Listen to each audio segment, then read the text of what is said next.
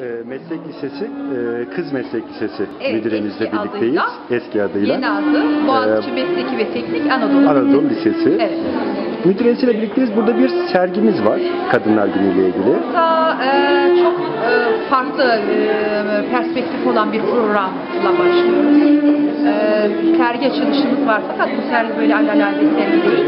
Hem kendi öğrencilerimizin e, yapmış olduğu resimler var. Bir de e, ilk defa Beykoz'umuzda bir okulun yapmış olduğu yani bizim okulumuzun yapmış olduğu İstanbul geneline yaydığımız e, bir resim sergisi. Öyle mi? İstanbul geneline yaydık. İstanbul geneline Evet. yaydığımız.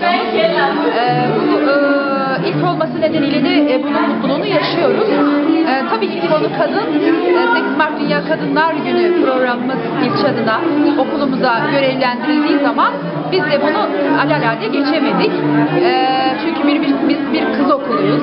Böyle bir e, misyon üzerimizde. Ondan e, dolayı e, kadınlarımıza e, çok güzel e, hazırlanmak istedik Beykoz'umuzun kadınlarına. Böyle bir sergimizi düzenledik. Hem kendi öğrencilerimizin yaptığı hem de e, İstanbul genelindeki tüm özel ve e, genel liseler e, arasında yaptığımız yarışma sonucunda gelen 85 resmin şu anda 23 tane resmi buraya da sergiledik. Sergilenmeye değer görüldü resim e, komisyonumuz tarafından. E, bu şekilde e, böyle nezih bir ortamda e, Çok güzel resimler var ama. Evet, Bilmiyorum yani- yani, gerçekten mi ressamlar ama herhalde ressam olurlar. Çünkü çok estetik çok gördüm ben. var. Yani bir kere çok e, hayal gücü var, e, çok emek var, e, kendini ortaya koyma var, e, hayallerini ortaya koyma var. Yani hepsi var burada. O yüzden katılan tüm öğren bunların hepsi öğrencilerin eseri. Evet. Lise öğrencilerimizin eseri. Hem kendi okulumuz hem de e, 42 tane lisemizden gelen resimler var. E, biz bugün çok mutluyuz. Beykoz'u nasıl değerlendiriyorsunuz? Siz bir e, kızların okuduğu okulun bir müdüresisiniz. Hem kendi öğrencileriniz hem de siz e, özellikle kadınlara saygı ya da kadın haklarının ihlal edilip edilmemesi konusunda Beykoz'umuzu nasıl buluyorsunuz? Yeterli mi buluyorsunuz? E, Eksiklerimiz var mı sizce? E, yani tüm Türkiye'ye yaydığımız zaman aslında eksiğimiz var. E, yani tabii ki bundan nasibini de Beykoz'da alıyor. Evet. E, biraz daha hızlandırmamız gereken çalışmalarımız var diye düşünüyorum. Peki Müzeyyen Hanım son olarak şunu sormak istiyorum. Evet. Buradaki çalışmalarınız sadece kadınlara özgü yaptığınız bu çalışmalar değil. Sizin e, okulunuzun e, yapmış olduğu pek çok çalışma var. Evet. E, pek çok e, yarışma var ve pek çok etkinlik var. Önümüzdeki süreçte neler planlıyorsunuz? Şimdi bahar da geliyor.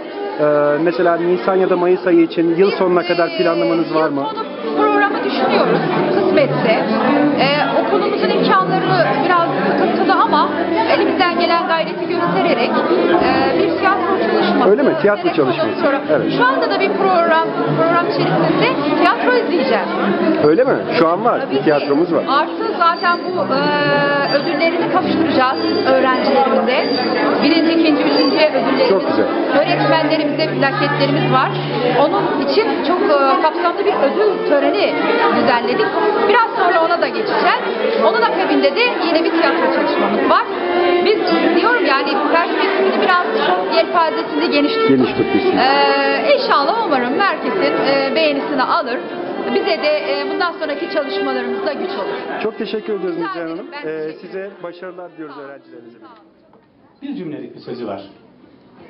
Kadınlar gününde sormuşlar ne düşünüyorsun usta demişler. Bize demiş insanoğlu derler. Biz kimin oğluyuz? O zaman insan onlar. Başka bir şeye gerek var mı? Bütün, bütün, bütün meseleyi, bütün meseleyi özetleyen bir cümle. Biz insanoğluyuz ama insanlar kadınlarımız, kardeşlerimiz, bacılarımız, eşlerimiz, analarımız, onlar bizim her şeyimiz. Toplumun e, temeli o zaten. Yani kadın yoksa, ana yoksa sen yoksun. Bir kere dünyaya gelmiyorsun, o işin bir tarafı. Dünyaya gelmiyorsun, ana yoksa da ondan sonra da seni bu topluma hazırlayan da, eğiten de, büyüten de bu toplumda Hz. Muhammed'i, Allah'ın aleyhi ve Muhammed, Hz. Muhammed'i de doğuran bir anne, Fatih'i de doğuran, Yavuz'u da doğuran, Mustafa Kemal'i de doğuran bir anne. Biraz önce hocam bahsetti. Erzurum'un işgalinde 3 aylık bebeğini kundakta bırakıp elinde kazmasıyla küreğiyle Azize tabilarına koşan Nene Hatun, Kurtuluş Savaşı'nda Kara Fatma, Mustafa Kemal'in kanısıyla cepheye mermi taşıyan Elif Ana, daha bunların çok artırabilirsiniz. Bunu çok uzatmanın bir gereği yok. Bir kere insan fıtrat olarak zaten insanız. İnsanı kadın, erkek diye ayırmanın bir mantığı var mı? Sadece fiziksel üstünlüğünüzden dolayı, güçlü olmanızdan dolayı bir başkasına şiddet uygulamayı, bırakın kadınınıza, ananıza, bacınıza, eşinize, sevgilinize şiddet uygulamayı, bir başka insana şiddet uygulamayı insanlıkla açıklayabilmek mümkün mü? Biraz önce çok güzel bir hadis-i şeriften akşam da bahsetmiştim Muharrem Başkanım. Şerefli ve haysiyetli insanlar diyor, e, kadınlarına sahip çıkarlar, saygı gösterirler. O zaman hiç kusura bakmasın ama aramızda hala çok sayıda şerefsiz ve haysiyetsiz insan yaşıyor. Hiç kimse kusura bakmasın.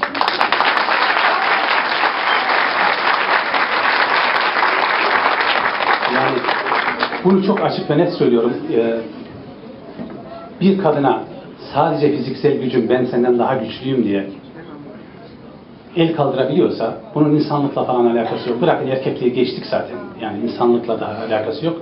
Bunu başka bir, şeyle tanımlamak lazım. Ama inşallah iyi günler gelecek. Yani biz bugün devlet olarak, toplum olarak biraz önce konuşmacılarımız bahsettiler. Gerçekten yasal olarak iyi durumdayız. Kadın haklarını koruyan yasalarımız var. Efendim işte dünyada kadınlara ilk seçme ve seçilme hakkını veren ülkelerden birisiyiz. Efendim bizim top geçmişimizde hep anlatırım ben işte biz ana erkil bir toplumuz. Bizim geçmişte sultanlarımız vardır, kadın sultanlarımız vardır, hanlarımız vardır. Hat, hanım kelimesinin de handan geldiğini kaç defa bütün toplantılarda söyledim. Cengiz Han'ın hanımına hanım dediğini, o benim hanım dediğini, hanım kelimesinin de oradan geldiğini anlattım. Böyle bir toplumuz. Her şey var. Ama sadece insanların kafasındaki ben senden güçlüyüm, seni ezerim zihniyetini yıkmamız o haysiyetsizliğe, o hadisteki haysiyetsizliğe son vermemiz lazım diyorum. Çok sözü uzatmadan programa yer ayırmak için sözümü çok uzatmak istemiyorum ama bunların da söylenmesi lazım. Tekrar emeğe geçen herkese çok teşekkür ediyorum. Başta analarımızın, bacılarımızın özellikle de son zamanlarda evlatlarını doğuda, güneydoğuda, Sur'da, Cizre'de, İdil'de, Silopi'de şehit veren şehit analarımızın ellerinden öpüyorum. Hepinize saygıyla, sevgiyle, hürmetle selam. Sizlerin için de hiç kimse kusura bakmasın. Bu, bu bile bu bile bir ayrımcılığı gösteriyor. Erkeklerin bu konuya ne kadar ilgisiz olduğunu gösteriyor. Hiç kusura bakmasın. Tebrik ediyorum. Tebrik ediyorum. Yani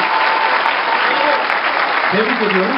Dışarıdaki, dışarıdaki sevginin tamamında kızlarımız vardı. Bir tane yavru vardı.